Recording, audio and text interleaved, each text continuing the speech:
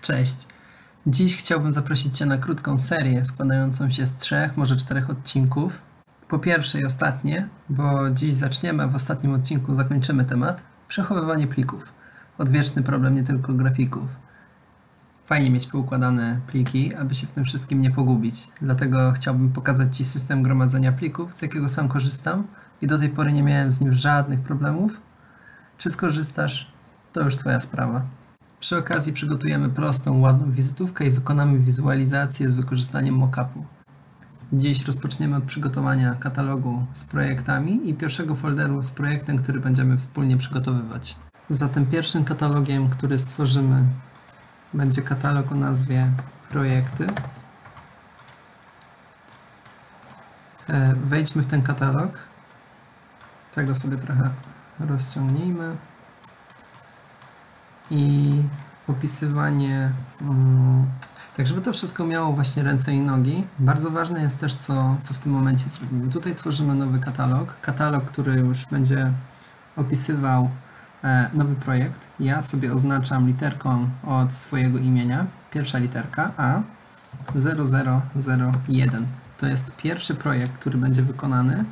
Następnie po spacji, czy robimy podłogę i, i możemy dalej pisać. Ja sobie zrobię po spacji. Po spacji e, piszemy nazwę, mm, nazwę firmy czy nazwisko osoby, dla której ten projekt jest przygotowywany.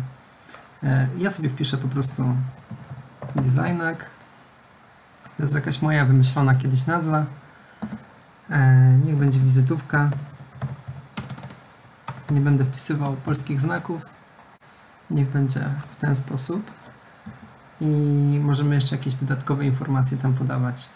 E, wizytówka, mm, możemy podać rozmiar, jaki, jaki ta wizytówka ma mieć, 90 na 50 mm i tak bym to zostawił.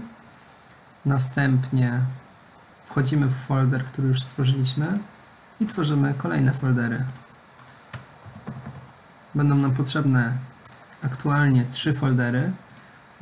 Pierwszy z nich nazywamy roboczy, w tym folderze będą przechowywane pliki robocze.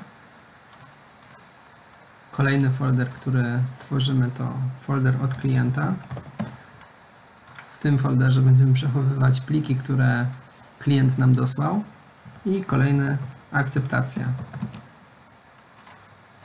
I tutaj będziemy gromadzić pliki, mm, które wysyłamy do klienta do akceptacji.